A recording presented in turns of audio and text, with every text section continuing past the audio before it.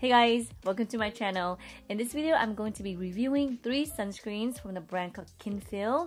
And Kinfield did send me these products, but I am free to speak my mind. The first Kinfield sunscreen I have, it is the Sun Glow Luminizing SPF 35. This sunscreen has zinc oxide and that is it in here. By zinc oxide sunscreen, I love it. It's a little bit of a pink color. And so when I apply on my skin, it really masks away that white cast that comes with a zinc oxide sunscreen and it doesn't feel like I have foundation on my skin. It really feels like a color zinc oxide sunscreen, which I really, really enjoy.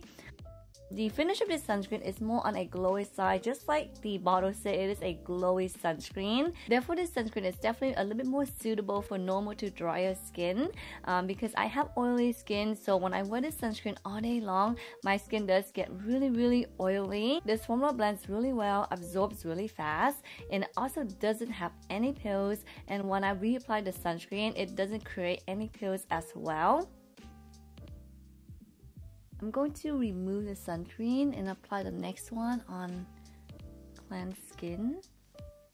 The next Kinfield sunscreen I have, it is the Daily Dewy Moisturizing SPF 35 and unlike the previous sunscreen, this sunscreen is water resistant for 80 minutes and it also has zinc oxide in here. Now this sunscreen doesn't have any tint but it also blends really well, absorbs really fast and it doesn't have any pills at all.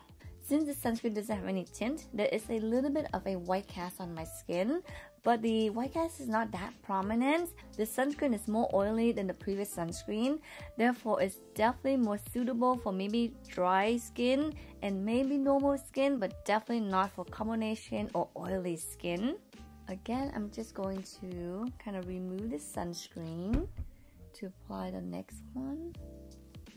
Last Kinfield sunscreen is the Cloud Cover Sunscreen. This is a mineral body sunscreen. It is also SPF 35 and it's also water resistant for 80 minutes.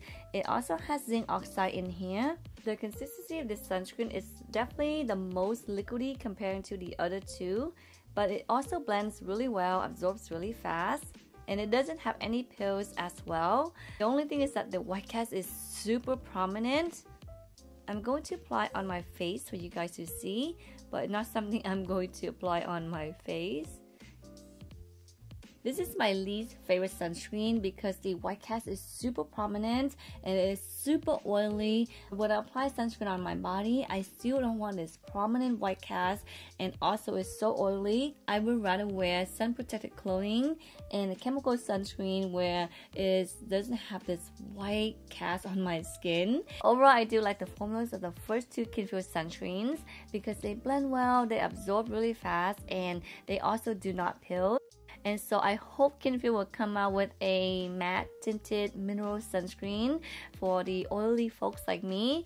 Otherwise, thank you Kinfield again for sending me these products and thank you for watching. I will see you guys next time. Bye.